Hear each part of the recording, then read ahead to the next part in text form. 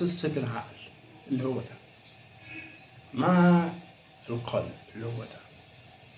وهذه مشكلة كبيرة تناقض بين المنطق وبين العاطفة.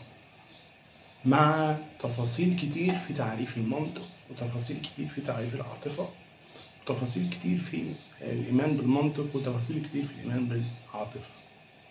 واستخدام كل منهما. واستخدام الإنسان للأشخاص التانية بالمنطق أو بالمعرفة وإلى قصة الوجود قصة آه، متشعبة لا تنتهي. زي أي قصة ما بتنتهيش بمجرد حكيها ولكن بتستمر مع التساؤلات الكتير عنها كل يوم وكل ما يطرح الأمر عشان كده أنا عملت السلسلة دي لأنقل تجربتي إلى الآن يعني في رحلة البحث. أهلا بيكم في القناة هنتكلم اليوم في أول حلقة من سلسلة قصة الوجود وهنتكلم فيها عن التصورات عن الإله وعن غيره والتصورات الاجتماعية وإلى آخره. لكن التركيز الأكبر هيكون عن الإله. في الأديان القديمة وفي الحضارات وفي أديان الشرق وفي الأديان الإبراهيمية كمان وده هيفتح مجالات كتيرة للكلام من سيكولوجية الإنسان نفسه ودور المجتمعات في تكوين الأفكار ونظرية المعرفة والنوازع النفسية وحاجات كتير أنا شخصيا وإن كل شيء قابل للنقاش. مفهوم الصح والغلط تأويلات ذاتية والتأكيد على التجربة الفردية والبحث ليس دوما أنا قسمت الأول مراحل التفكير لثلاث مراحل. المرحلة الأولى الطفولة المرحلة الثانية التساؤلات المرحلة الثالثة الصراع والغربة. وهي للشخص الذي يفكر أو المتفكر أو اللي اختلف أو المتفلسف أو أيا كان المسمى. المرحلة الأولى.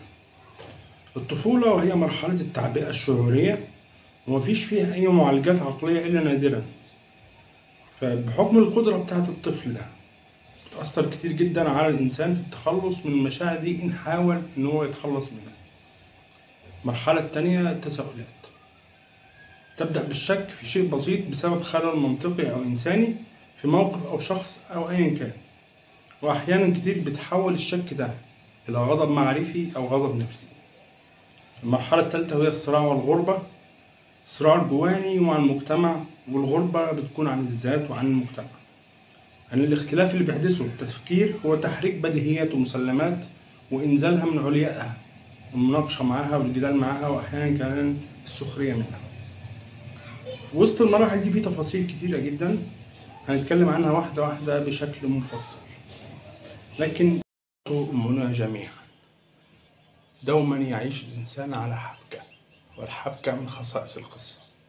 حتى لو كانت الحبكة غير معروفة بالنسبة للشخص لكنه يجب أن يكون له حبكة مظنونة وهناك حبكة مطروقة وإلخ من أنواع الحبكات قصة الوجود كانت تبدأ دوما بنقد من العقل لأن النقد بيحرك المعرفة القبلية.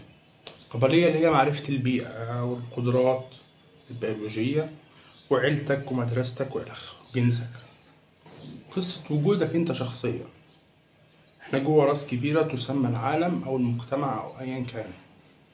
وهذه المعرفة التي أخذتها تؤثر على طريقة تفكيرك ودي في المراحل الأولى اللي اتكلمت عنها الطفولة أو حتى بتأثر على الأماكن اللا شعورية اللي موجودة جواك.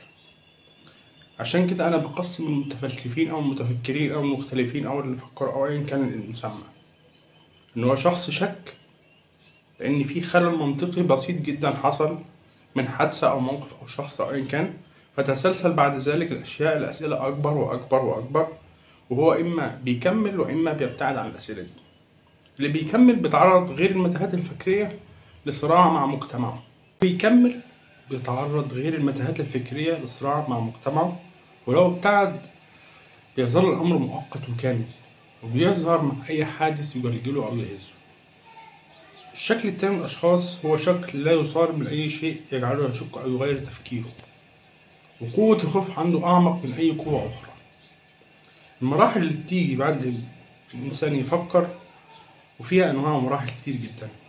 إما إن هو يكون معلوماتي متزمت يريد إثبات ما هو يعتقده مجتمعه أو ما ضد هو ضد مجتمعه. وإما يبحث عن معنى بالفعل ويتفلسف. التفكير كمان في المواضيع بيبدأ من الإله مهما تم الابتعاد عنه. محاولة العمي عن ذلك. لأنه أكبر مقدس وموجود ويرد له في المخيال الجمعي كل شيء. في تصورات كتير عن الإله. في تصور إثبات ما يقوله المجتمع. تصور رؤية خاصة للشخص نفسه. ويقبل من خلال هذه الرحلة الآراء الأخرى. وهذا من التجربة لا من تنظير التسامح والمحبة. وال... كمان هنتكلم في السلسلة عن مفهوم النوازع للأفكار النوازع الشعورية للأفكار وده مهم جدا في مساعدة ملء الأفكار لمشاعر معينة. كمان المنفعة الأنوية كمان الموضة كمان الوراثة. وهنبدأ ببعض الإشارات آه، عن حقول الفلسفة ونظرات نظراتها إلى إشكاليات قديمة أو تصورات إلى النظرات. الفلسفة الحديثة مثلا ممكن تكون تعب أو جهد للتفكير في الإله. وممكن أن تدل الأغصان البعيدة على الجذر. يعني مثلا قفزة ديكارت أنا أفكر إذا أنا موجود والتمييز بين العقل والجسد وبين الإيمان والعلة وبين الدين والعلم. كمان الفرق في حقب الفلسفة بين تغيير نوع الدogma أو تخفيفها من إخراج الله من حيز الإيمان المطلق أو الإلحاد المطلق إلى فكرة الرحلة.